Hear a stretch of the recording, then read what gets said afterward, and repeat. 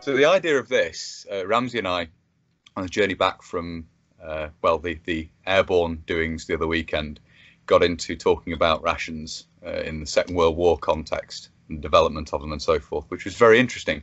So I thought it'd be a good idea to perhaps run over that again uh, to camera and uh, you know get a bit of the details down. As I say, not in the most formal of settings. We'll probably cover some of this in more detail going forward because I know you're interested in doing some more videos, make make some more videos covering ration details. But it might be yeah, nice to do an overview. So uh, take it away, Ramsey. Well, I guess sort of the, we were talking initially about the BEF, obviously the very earliest sort of ideas, but obviously some of the improvisation that had to go on, uh, Yeah. which led to further development. So I think it's probably worth starting a little bit pre-war from this point of view. So we'll talk about the situation from Yeah. about 1937 onwards. Sounds good. Um, I tend to say um a lot in videos, so you'll just have to excuse me on that one. Oh, that's absolutely fine. Yeah, no, do I do as well. it's just the it's the brain processing things Yes, faster than the absolutely. mi- mouth can actually say them. Right. 1937. The army had been in a peacetime scenario for quite a long time. Yes. uh, obviously ever since 1918, roughly speaking, in England or certainly in Europe. So things have not really progressed amongst uh, progressed at all. There certainly wasn't really any thoughts about an upcoming war from a supplies No. and transport point of view. there's no, there's nothing in cl- sort of colonial policing that would drive the development of that, or the, the kind of operations that were going on into war. Not really in Northwest Europe or something No. not in England at this point in time. Um, there was a system that was in place. Um, it was, it worked, and it worked quite well.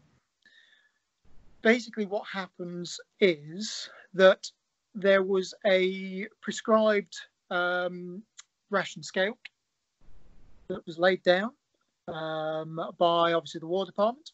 Yes. And it was down to the messing officer of each unit to then order the goods that they wanted for their men. From that point of view, the scale itself was not set hard and fast. It No. was used as a it was used as a method to calculate the amount that the messing officer could spend. Yes, and and you were saying that could be if they wanted to save a bit for a, a month, to or you know to save up for a blowout as it were, and have a special event and a special rations. They could they could scrimp and save for a certain amount of time and then spend more at, at another opportunity. precisely that. So, if, for example, they had Christmas coming up, they could scrimp and save a little bit from October and November and overspend in December, hmm which for a peacetime army actually worked quite well. Yes. The downside is that obviously war started looming in 1939. Um, so it was pretty much all hands to the pump because just before the outbreak of war, um, the Royal Army Service Corps, as it was then, since it changed from the Army Service Corps to the Royal Army Service Corps, um, they pretty much had a reorganisation a change in tactics Yes. but that was just before the outbreak of war. Now, a lot of the Army, uh, sorry, Royal Army Service Corps members at that point in time were reservists, territorials, hmm whatever you want to call them. They weren't, they had another day job. Let's put it Yeah. that way. So, from that point of view, um, they weren't there to bring them up to speed on the latest practices. Yeah. Restricted training basically. So changing all the doctrine just before the outbreak of war and just before mobilization certainly was probably not the wisest of moves. No. No. This led to a massive knock-on effect when the BEF got over to France in 1939, um, because several things happened which made it a bit of a bit of a mess. Yeah. Um, to start off with, um, the the amount of rations build-up before the war hadn't really gone ahead as planned. There was a massive delay from NAAFI, who supplied loads and loads of the main goods that the British Army were to make, Yeah. or were to use, sorry, at that point in time. They were very, very slow to get off the ground. Um, the War Department was relatively quick, so things like bread, frozen meat, that kind of thing, everything that the Army, that the Royal Army Service Corps was um, that was responsible for was there, was on time. NAAFI was very slow off the ground. Now, bear in mind that we ordered probably 80% of goods from the NAAFI organisation at that time. Mm. This proved a problem. So that, that, that's the split, is it? Roughly 80% NAAFI, 20% Service Corps provided, or it's difficult to know. It depends on yeah. what they ordered. Yes, ah, of course, yeah, of course. Um, so they were there was obviously this big problem that you know they got not got quite as many goods in stock as they thought they might like. Um, the other problem was that as they moved out and were mobilised, they were issued with I think it was two days worth of rations mm-hmm. per man, which was not uncommon at the time. No. Um, there was also two days of rations that was loaded onto unit transports. This was the plan anyway. Um, and then a further supply line that was meant to be coming over. The problem was a lot of units received their rations and decided to stow the two days worth of rations that was meant to be carried on the soldier in unit transports. Right. So you end up with all four days worth in the unit transport in Pretty much. Yeah. Now, as that would have worked out perfectly fine if things had gone to plan, because unit transports were meant to follow the men over, not a problem yes. at the same time. Due to a last minute change in security procedures as the men were shipped out, their unit transports were shipped on different ships and sometimes to different ports. Yeah. Which uh, led to a, obviously a massive problem is men arrived in France with nothing to eat. And certainly for the first few days, this proved a massive problem. Hence why, you know, to get around this, they pretty much went out and procured what they could from the local populace. Yes. There's or even documented evidence that they had things like sugar and tea shipped in from Paris. Mm-hmm. But loads of local arrangements, loads of local stuff, um, local messing arrangements happening, and basically yeah. they just bought food off the locals. It's interesting because it, that that mirrors, from what I've read, mirrors quite a similar situation in the Great War of men going over and they procure food, and you would have thought that even that lesson of that time period would have been learned, but obviously due to the last minute change, you know, you not paying by what they were told to do as well. Interestingly, and not keeping the rations on the men. So it just yep. goes to show that, uh, yeah. I'm sure there are some exceptions. I'm sure there are some people mm-hmm. that procured food, etc. Um, but on the whole, most men arrived in France without any rations. Yeah. From what I've from the research that I've done on the subject, anyway. Best laid plans and all that. Yeah. Best laid plans and all that, as you say. Now, they it takes them a, a while to for everything to settle down. Um, at least a few days, sometimes even weeks. They mm-hmm. end up feeding men, sending men, uh, sending food forwards from the dockyards when it eventually arrives um, over via train to wherever the men are stationed at that point in time. Yeah. But it's very much a hand to mouth scenario. It takes them a while to actually build up stocks in the docks, and they need they needed to employ quite a big um, labour force from the French populace to actually get this moving to yeah. bolster the numbers. Because, as I say, with the change in doctrine and the guys not knowing what was going on, um, or not knowing the new practices, sorry, it took them a while to get up to speed. Yes, literally um, training on the job. Yeah. Yeah, and make themselves efficient for dockyard yeah, of course. various bits and pieces. Um, so from that point of view, they move into again the phony war. Mm-hmm. Um, they eat field service ration scale and continue to eat that all the way up until pretty much it's looking desperate in terms of May 1940. Yes.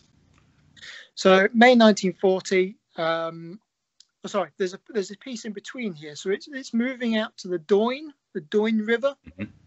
So I know that we've discussed this before in terms of looking at the 37 pattern equipment manual, and that was obviously published here. Was it 38 or 39? I forget. 38, I think the manual, the, the, fitting instructions are published, if I remember correctly. Yeah. yeah. So for the um, for the uh, contents of the haversack, it yes. says emergency ration. Yep. Now, from what I've read, the reason that we can't find any reference to the emergency ration before 1941 in terms of the yes. square, uh, you can probably see one in the case behind me. If I yeah, the oblong, the oblong gold tin. Yeah. appears in um, one. Yeah. is because they call the the what we would call an iron ration the emergency ration. Yes. So when they moved out to the Doyne, they took two days worth of preserved rations with them. They also carried one day's worth of fresh and two days worth again preserved in unit transports. hmm So when they get out to the Doyne, they've got plenty of food, but then obviously what happens happens, and they end up falling back. Um, and you read loads and loads and loads of accounts from that time period, from the retreating to the Dunkirk port, of the men going hungry. Yeah. Raiding, even raiding abandoned houses and NAAFI vans and things to try and find a bit of food. Totally. Yeah. Um, certainly, when they get back up to the perimeter, there's loads of um, Ar- uh, Royal Army Service Corps vehicles and stuff, and you hear guys breaking in, and, you know, retrieving tins of jam and just. Um, I think there's one guy said it was his birthday, so he managed to retrieve a, a tin of strawberries, Yes. strawberry jam, and a tin of cream because he says he always used to like having strawberries and cream on his birthday. Yes.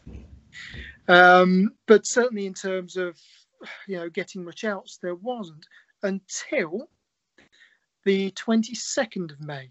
Now the 22nd, I think it's 22nd. I have to I have to look back on over my documents again. But I sent you the document as well that says did, Yes. the army authorized the air force to make airdrops of a new ration scale to France to the men. Yes. Um, whether that was via parachute or whether that was by landing it, I'd imagine it's probably by parachute.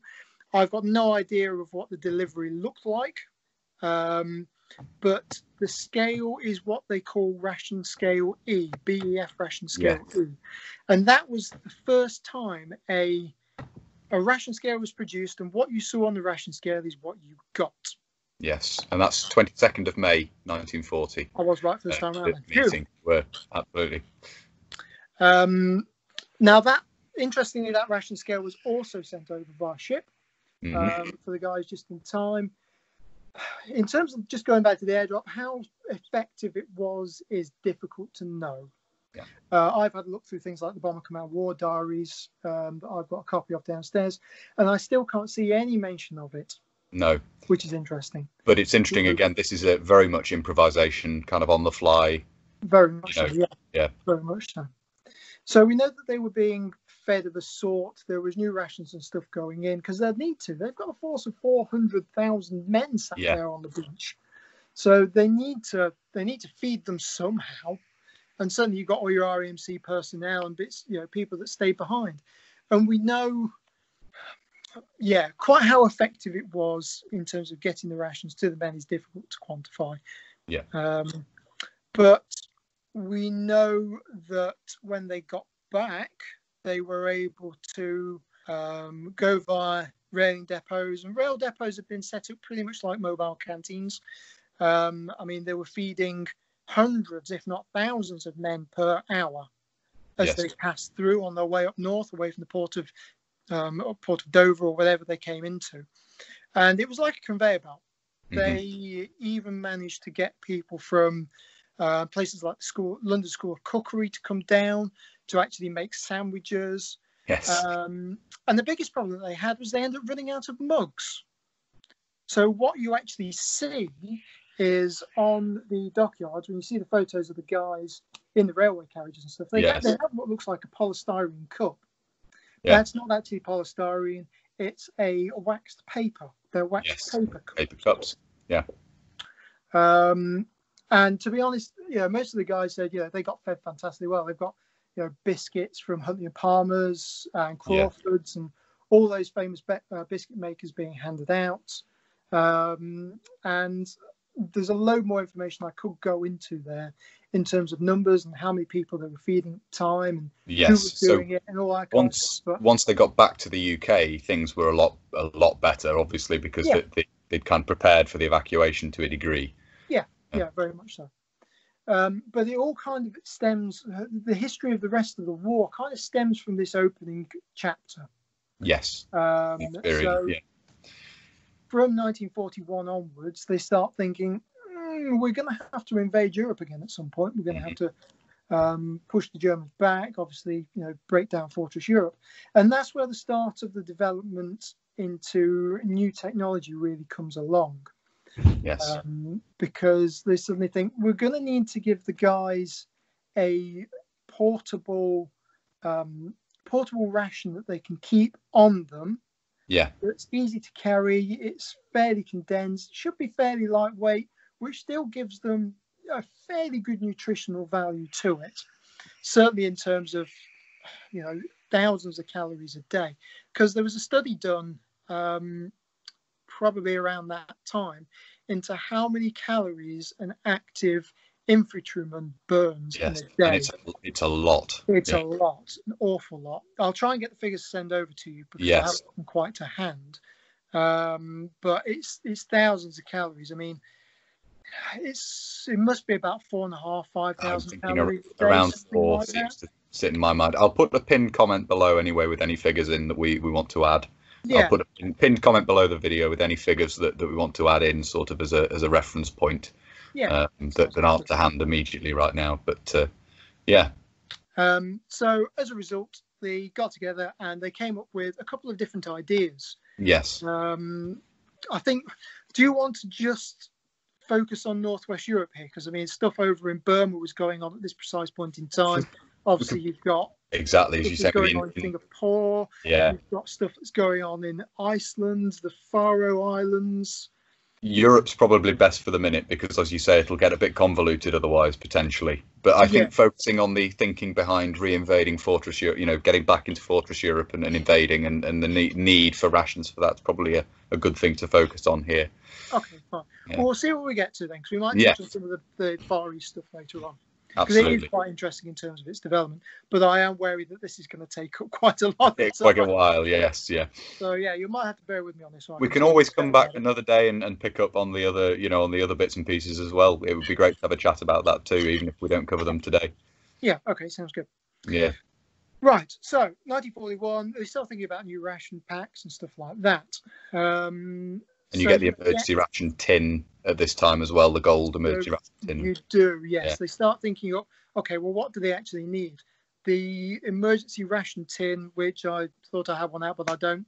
Uh, as, as I say, one in the case behind me gets um, invented. Um, it's basically a milk chocolate. It's not got any additives in, despite what people hear. The two different sources that I've come across from this are completely different. On one of them is the manufacturing spec. It doesn't contain anything else apart from just milk chocolate Yeah. and cocoa. Um, that's it. Yeah, Um, but it's designed to sustain. You know, when the, the orders on the tin say something along the lines of to be open when no f- further food is procurable, or yes, I forget the exact wording now, but it's, it's along those lines. Um, not only that, they also come up with the idea, as I say, with um, guys should carry their rations on them. They Mhm. should be easily easy to get at, certainly not left in unit transports. Um, Yeah. So they devise what they call the 41 or 1941 48 hour mess tin ration. yes, Again, their thoughts are that 48 hours really is the crux time that um, we would need to um, create a bridgehead and use that to obviously establish a foothold in Europe. and then you have fresh supplies coming in, and the men are no longer having to rely on the rations they have in the haversack. Is the idea? Uh, Sort of. Mm. Um, the next phase would be, and it's quite forward thinking, this one, um, would be that there would be an easily transportable ration pack Yes, that is nice, easy to use, almost the equivalent of the quite complex field service ration scale. Um, that is definitely palatable, that would keep the calorie level up. yes, And so they decide to come up with the idea of the 14 man composition ration, which again you start to see being manufactured in about 1941 and then it starts being issued in 42. Yeah. Um, it actually gets issued in the desert first. yes, Um, now, bear in mind the guys over in the desert, I might be jumping around here, so apologies the guys over in the desert had been surviving pretty much on preserved meat. Um, you know, there's the old saying, "Oh, it was only bully beef and biscuits for a while." uh, months. It seemed. Uh, I'm sure it seemed like years to some of them, but Yes, it was only months. Yeah. So once you've been on a diet like that, you kind of go, well, a, a 14 man composition ration, which is made up of loads of different ingredients, loads of different contents, um, seems like luxury. I'm sure Absolutely. it did. Yeah.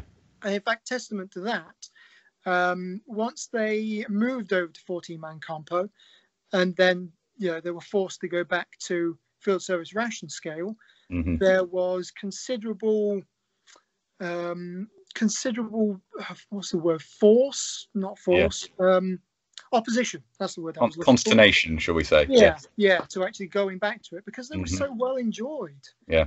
um so anyway i digress a little bit further away. So the idea is that you're meant to spend 48 hours on a on a man ration then you move on to almost section rations if you want to call it Yes. that and then after that you move back onto the full field service ration scale Yeah. the whole reason for that is that the field service ration scale gives you more calories it's a more balanced diet Yes. um, and you'll see that if you do any research into it across the board. I mean, just to touch on Burma really quickly, they reckon over, well, certainly the research from the books say, and from the National Archives say that over 90% of rations that were issued in the Far East were for the, were from the field service ration scale. Yes. Now that's due purely to the fact it, it gives you much better nutrition and many more calories than any of the man pack or any of the individual rations, specialist ration packs, can give you. Yeah, that makes perfect sense. Well, as far as possible, fresh ingredients are best. Is would be the argument there. Yeah. Um, yeah. So they developed the 41, uh, 1941 um, 48 hour messing ration. They also developed an armor fighting vehicle ration as well, 2 three, and five man. Uh, came in a cardboard box pretty much. Um, was, from what I can understand, quite palatable. Um, obviously, these go into trial. The 48 hour messing ration goes into trial early 42. Yes. Um, they change and move things around. Originally, it had pemmican in it. Um, it had sardines in it as well, and it co- it came in a tin, which you might just be able to see behind me. Yes. This is this metal box just here. Um, it fits inside the larger portion of a mess tin, um, and is, as you say, the bigger pro- the biggest problem with it is is it's heavy. It's tin plate heavy. You can't easily break it down to be a single day.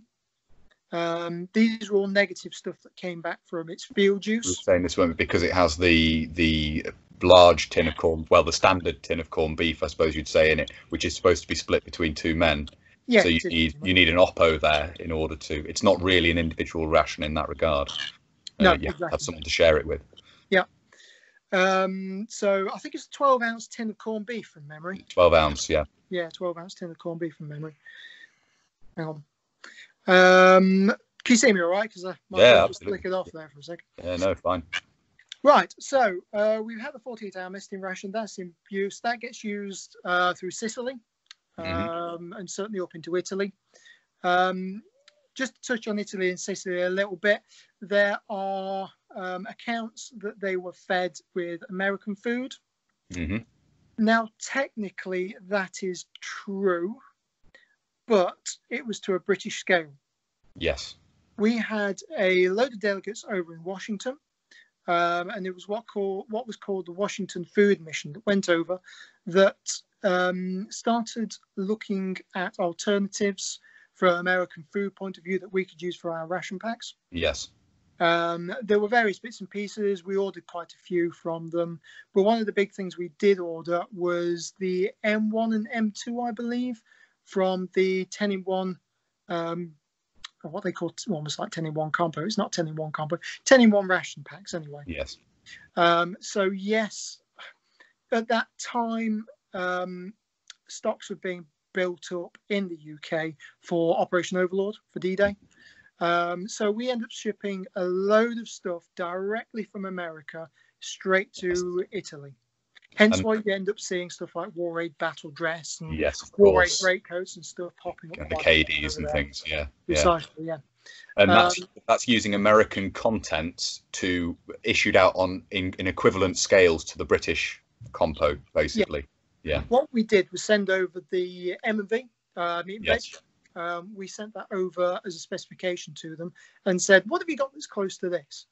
And they came back and said, "Well, we could probably produce that for you, but it'll take some time because we've got to grow different crops and stuff, and some of them don't grow quite well in our environment and various bits and pieces like that." So we've got these M1 and M2 um, content or meat parts that we use for our in existence for our 10 in 1 rations. Uh, would you like those instead? So we went, yeah, okay. So we ordered them in their thousands, sometimes in their millions from there, and we got them shipped directly over to America, directly over from America. Yeah. So, I mean, it's worth noting just to jump around again. Um, if anyone's trying to do research into what people ate at a certain time, it's worth looking at where their supply lines came from Yeah, Absolutely.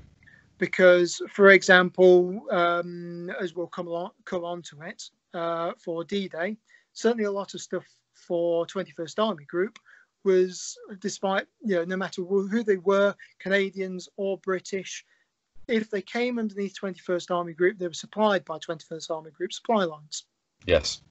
Um, certainly for 6 Airborne, um, they got issued the same rations for D-Day that any of the rest of 6 Airborne got div- got um, got issued. Yeah. That includes Canadians and everybody. hmm Anyway, sorry, I digress slightly. Not at all. No, it's fine. It's good. It's all good So- information.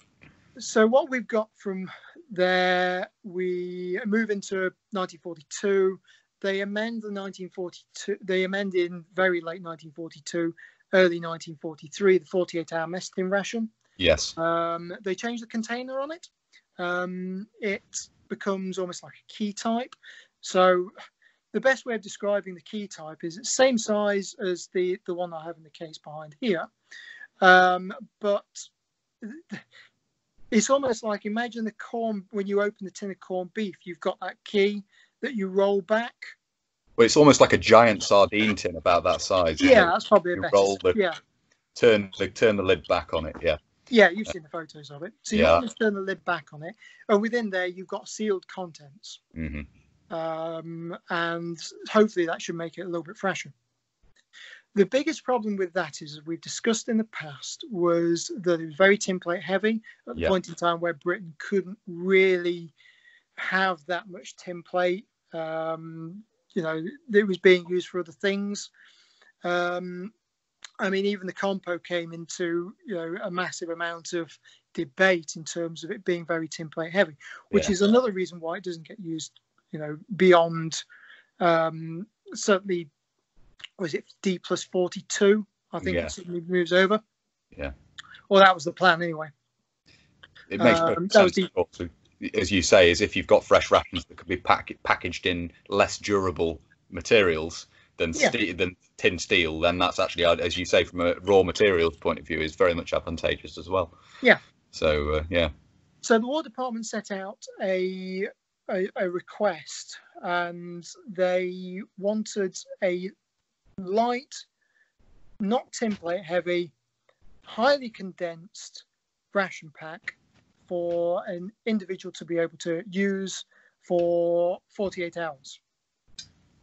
Now, it turns out they didn't actually get what they wanted, but what they did come up with is the 24 hour ration Yes. which again does away with any tinplate, so you don't have that problem. It's all very compact. Um, I forget what the actual cubic um, diameter or the cubic um, volume is of a 24-hour ration pack, but it's small, very it small. small. In fact, there's an original one that you might be able to see just above my head here. Uh, just about. Yes. I think we can just see the top of the box behind. Yeah. Yeah. Yeah, so they're small boxes. Um, Well, we've done. I say actually both the, the 48 hour mess tin. I'll put cards up, but we've we've actually done a video. We've made a video previously looking at a, a reproduction of the 24 hour ration box. Yeah. So I'll link to that in the corner of the video. People can go and see, just as you say, just how small it is, really. Yeah. Um, yeah. well, if you want to do a small snippet at some point, don't forget I've got tea ration from it. So True indeed. you Yes. wanted to have a look at that at some point, um, Definitely. uh, we could do that. I think we should get together some other contents of that as well, because I know a couple of people that have got other contents of it. Original contents for it, which is incredible to survive. Yeah. So, yeah, it would be very interesting to have a look. So you get the 24 hour ration. Um, again, that's very successful. And as we know, that gets issued two of each type, or two um, 24 hour rations get issued to guys on D Day for Sixth Airborne. Yes. They do the 24 hour ration assault, which is I've got a reproduction of up there. Yep, you can see that up there in the top left. Um, very rare. I've only ever seen one, um, and that's in the Overlord, was it the D Day Museum over Yeah, in museum. Normandy? Yeah, yeah. Um, very, very rare. Um, and they're slightly smaller, reinforced. Um, and they are designed to fit in the smaller half of the mess tin instead of the larger, Yes. as we've covered before in previous um, previous videos. So from D-Day, that uh, from D-Day, the invasion of, of course, I'll call it D-Day. It should be Operation Overlord, really, because Yeah. it's every single Nor- operation Norman- for D-Day. The Normandy landings. Thank Yes. you very much. Yes, that one. Um, so that pretty much sets the standard. You've got 48 hours worth of 24 hour ration packs, Yes. and then you- get compo for the next uh, 42 days, I think it is from memory. Mhm. And then they move on, and then by that point, they think, well, the mobile bakery should be set up. Yes, of course. So you get the mobile bakeries moving in. From that point, you move on to the three boxes that are called Compo No Biscuit. Yes. um, and they then uh, obviously they're, they're in place whilst you're able to provide able to get fresh bread The there are bread, yeah. separate biscuit tins that were issued alongside those um, but they're designed really to have with bread and then from that point onwards you move into the field service ration scale again and that then gets supplemented with compo at various times during the war Of course, yeah, yeah. As as the situation dictates, you're going to have Yeah. necessarily have, uh, say, there's a, a local reverse or something. The only stuff you can bring up might well be compo. Precisely. Um, and there's a huge amount of information in terms of how um, supply depots worked, um, moving rations forwards, actually getting rations up to the men at the front line. Yes, You know, there's a massive debate over in Normandy whether they should allow men to cook their own rations or whether they should get them uh, cooked behind the lines and almost like a, a, a jeep does a round or a 1500 Yeah. whatever it is does a round robin to deliver rations to the men. Their conclusion is actually that they should let their men cook the rations themselves because it's actually better for their morale yes, because it gives them at least some control over what's going on. absolutely, yeah, Um, but certainly from the time in Normandy, of all the accounts I've read, there's only very rare occurrences that men are actually going hungry. yeah, Service Corps had definitely got um, the supply lines and rations worked that well, and they had such a massive amount of backing from the supply chains, the lines of communication, Yes. troops, etc., that guys didn't go hungry. Um, And you were saying that by, by this stage, you've moved, the RSC are, are dealing with all of it. The Royal Army Service Corps dealing with it. The NAAFI have been sort of sidelined from that point of view in the field. Or They've is it? been mostly sidelined, Yeah. yes. Um, they the, the big problem was that because there was a massive reliance on NAAFI, um, and bear in mind that it's is it a commercial company? I guess it was almost could have been running the commercial Mm. company. There was a massive risk around it. Yes, Obviously, they didn't in the early stages of the war. They didn't exactly um, endear themselves very well in No. terms of they were slow to get on board and stuff, and you know they were perhaps struggling for contents as well. Because let's face it, in '44 there was pretty much getting on for being a food crisis in the world yes, because all the food had been moved over to being uh, war uh, on a war footing mhm, um, and uh, they were pretty much everyone was struggling for getting various bits and pieces. Um, as you know, the the British scale of rations in terms of being at home have been reduced and reduced and reduced. yes, Um, this had a knock-on effect for what we call the home service ration scale, which came about in a, just after Dunkirk, and it it reduced time and time and time again throughout the war. Everyone that was at home in the UK was put onto that scale, um, and yeah, even they struggled to get various elements for that. yes. And you're saying that that was reduced down to this, the fact that the soldier is basically in, in at home in the UK is being fed the same as a manual labourer in the civilian Yeah. in the civilian world, as it were. So there were factory canteens, and Yeah. there was a massive debate that was going on, certainly up to the House of Commons, to say that why is it, it it's unfair that an active soldier um, gets more food than a um, than a certainly a labourer or Mm. a factory worker that's doing hard, you know, manual labour. Manual labour, yeah. Now, to add to this, the British Army, in just flicking back to about 1937 38, one of their recruitment incentives was the fact that you would be well fed Yes. in the British Army. Now, by the time 1940 1941 comes around, they don't really need that as an incentive. No. So, yet again, the ration scale gets reduced. yes. It's, it's it's pretty much a it's pretty much a um, story of reducing rations for a lot of the uh, scales that we see um, running across the board. Uh, Yes. Certainly from 1940 onwards, as soon as civilian ration comes in for the general populace of the UK. Yes. To to keep the soldiers who are in the UK basically in line with with the the ration scale that civilians are getting.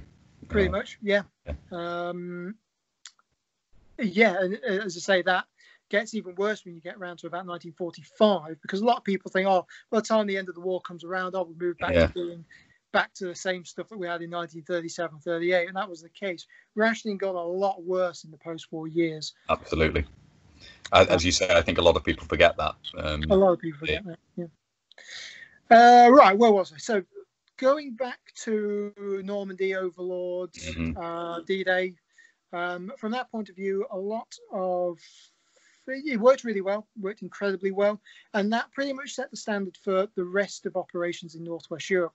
Certainly, Yes. when you get around to Market Garden, guys were issued again two times 24-hour ration packs, Yeah. followed up by Compo, and I'm sure that actually, if things had gone a hadn't gone the way that they did, chances are it would have moved on to field service ration scale at some point. The only Yes. exception for this would be the bad weather they got around 44, 45 in the winter thereof, where um, quite a bit of compo was brought up because they struggled to transport quite a lot of stuff.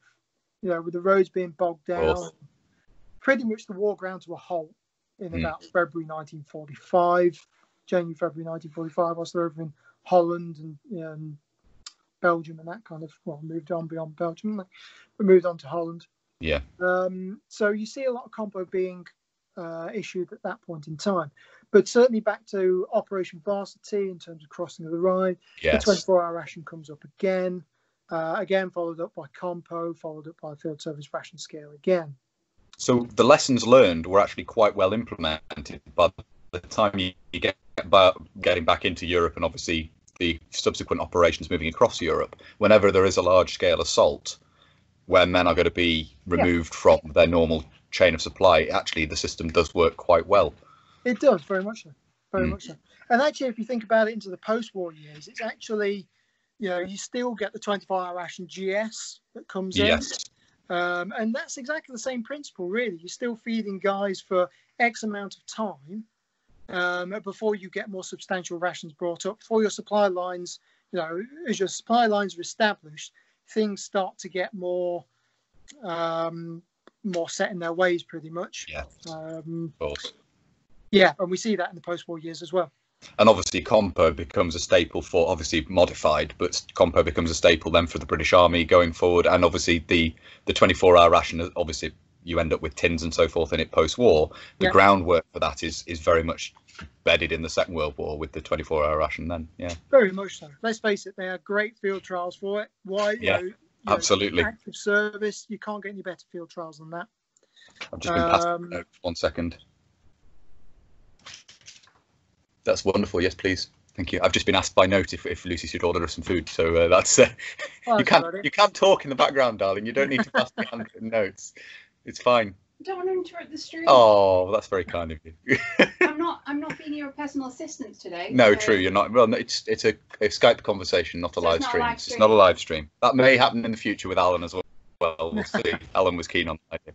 Yeah, but yeah. uh, yes, so and, and we were saying just to go into uh, just the very immediate post-war period because we got into talking a little bit about the GS uh, 24-hour ration.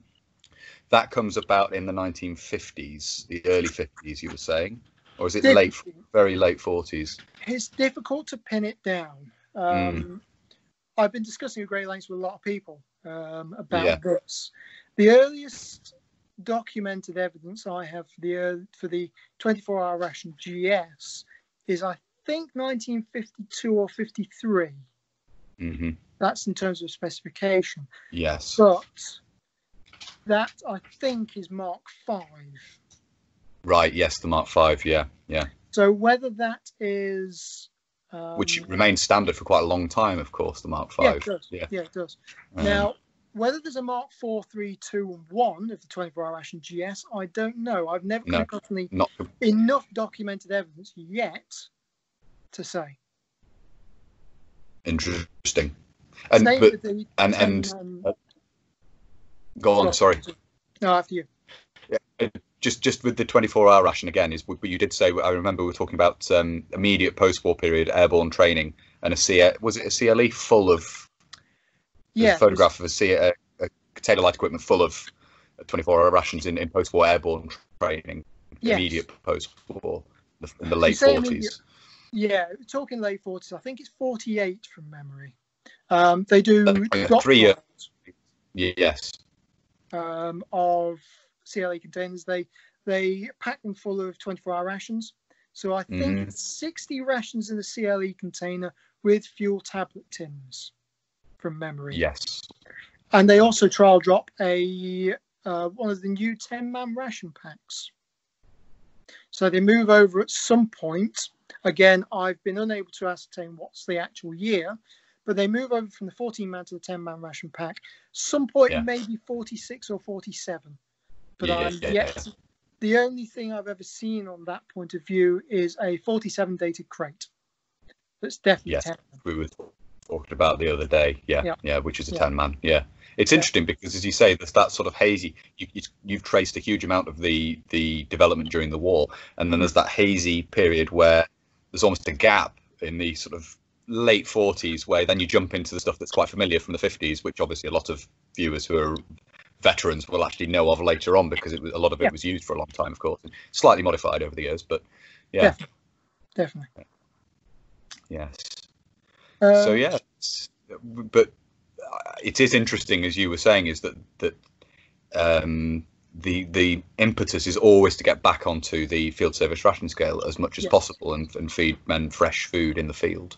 Yep. Um, In fact, they just before the war they appointed new directors of nutrition, of Mm. health, and stuff like that um, to come up with these new ideas and check the army ration packs. And there's a huge amount of uh, correspondence going on, checking levels of vitamin C, levels of vitamin D, A, B, yes, stuff like that to make sure that the guys are getting enough. Um, and suddenly you'll see a load of papers come out um, because somebody's decided that, for example, um, Marmite. Yes. Marmite's an interesting one because there was a massive amount that was done and um, looked at during the war as to the actual vitamin D content of Marmite. I think it's 1941 from memory on the documents. Suddenly it's found it doesn't contain as much vitamin D as people think it does. ah, right, okay, interesting. So they actually move over and they uh, they go for I think it's Vegemite. hmm Uh, basically, they move they move away from Marmite as being uh, uh, the recommended um, vitamin D content meat extract substitute, Yeah. whatever you want to call it. They move away from that because the rival contain it, it, it contains more vitamins in it, so Yeah. they move over to that. Um, So actually, yeah, as you say, it's, it's not a just a. There is some trial and error as we've talked about, but Yeah. a lot of it is actually very scientific in terms of making sure the nutrition is there, Yeah. making sure the calories which are provided are as stated, and the vitamins and so forth as well. Yeah, very. yeah. Fair Which is you, you blooming hope there would be because obviously it's the men's health is is largely depend. You know, aside from disease and so forth, is very much dependent on on the food they're getting and the the you know not having um, uh, deficiencies in the in their diet. Uh, Yeah. so, and I'll just if I can just link into that very briefly because I'm not sure if I'll have, I'll have uploaded it already or whether it will have been uploaded. There will be a video looking at some some of the late war Pacific ration that what we believe to be a sort of vitamin C substitute lemon drink, which is quite Yep. an interesting thing to have a look at to make sure men are getting it's a substitute for fruit juice essentially. Um, so that'll Yeah. be an interesting thing to have a look at. Yeah, Um, definitely. I don't know if that I don't know if that'll be up before this or after this, but it'll have been seen or will be seen by people watching this, hopefully. Okay. Um, which is quite an interesting experience. I'm very grateful to you for sharing that with us. It was uh, it was good. well, it wasn't very nice tasting, but it was interesting to do. Yeah, it was good fun. Good fun. It was good fun, absolutely. Um, so, would you be okay to talk a little bit longer, or do you need to be sort of? How are you doing? We've been going three quarters of an hour. If you need to have a break and stuff, and we could come back to the Pacific stuff and, and maybe more of the desert, uh, you know, the what was going on in the desert at another time, or if you're happy to keep talking, we could cover a bit of it now. It's up to you. I think we should probably leave there, there for the That's minute. absolutely fine face by me. it, it's going to be quite a long time. Certainly, if I'm is. watching one of these things, you know, 45 minutes is about my attention span. Yeah. Yes. Um, That's yeah, good. I'm usually is a good itching to go on to go and do some more work on the house. I'm busy redoing the house at the minute. Uh, Ramsey is busy re- redecorating the house. Absolutely. Well, thank you very much for giving us that time, Ramsey. It's been really good having a chat to you about the, the rations and the de- the development is the interesting thing. The evolution is is fascinating to see, uh, and uh, you know, coming up with solutions to problems. Yeah. Um, so Um, I'm sure I've got some more examples of various bits and pieces. There should be some more technical information and stuff there as well. absolutely. Um, and obviously, we can always dip into looking at some of the stuff behind in the case if we want to at some point. yeah, definitely going forward. That would be excellent. Marvelous. Well, thank you very much What's- indeed once again. What would be really interesting to do would be actually Mm. the the development of tea throughout the war. Yes, which we've covered a little back. bit. We've covered Yeah. A little bit in the uh, in the previous videos, looking at the the 48 hour and the uh, the 24 hour rations. But yes, it would be definitely be good to talk more about that. It's quite an it's quite a it's quite a good shorthand for the development of things overall, really, isn't it? The the It is pretty much, yeah. Because you, you Yeah. just go into it's it's convenience more than anything. That's what we absolutely. Pure convenience. Absolutely. Well, definitely, and in, include in that perhaps the original tea ta- tea uh, tablets you have from the 24 hour ration box. That Yeah. be That's what good they- to have a look at. Yeah. All stuff for the future. Excellent. it is. Thank you very much indeed, Ramsey. That's been absolutely welcome, brilliant. Simon. And we'll have No a chat again at some point in the future about uh, more on rations. Yeah, sounds good. Nice one. Thank you very much indeed. Bye for now. Bye.